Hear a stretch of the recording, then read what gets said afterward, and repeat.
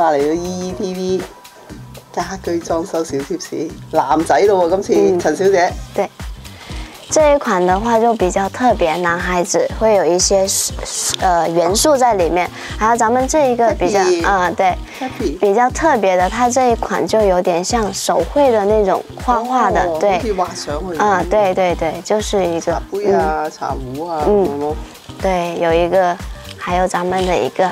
啊，哦，衬翻啲墙纸啊，对，一个男孩子的，一个墙纸，啊，呢个呢个呢个仲衬个墙纸，嗯嗯嗯，呢个男孩仲衬啦，对，这个整一个区域的话就比较，其实呢个男女，这个是男女，男女都可以用，因为它有一个粉的一个。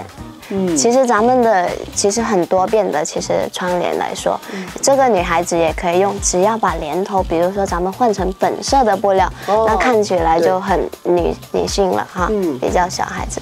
这个是呃，你说是男女？也呃，对，这个嗯是男啊，对，但是你有猪猪猪，对，还有一个猪猪的一个成配，嗯。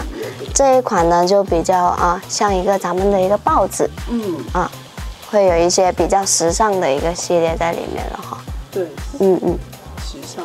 还有咱们中间加了有一个圆珠珠珠片在上面，嗯，会有更多的一个亮点在里面，也是比较简单的款式。嗯，其实不要这个珠。嗯，对，其实这个男女都可以用的，男啊，小女孩也可以用。我看是像男孩子多一点，对，还有这边的一个小床，其实我觉得男孩子嘛，会有想扬帆出海的那种感觉，嗯，它是蓝跟白的，因为他想要做一个效果出来，就是说不要整一片都是咱们蓝色的，还有咱们做一个衬托，呃，显示出啊，可以，哦，对。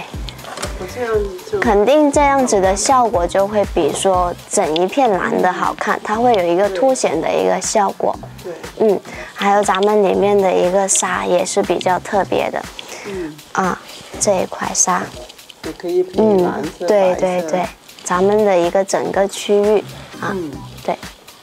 好了，因为太多了，我们再去逛逛，有什么看？今天好高兴，多谢你，谢谢兰小姐，谢谢 嗯。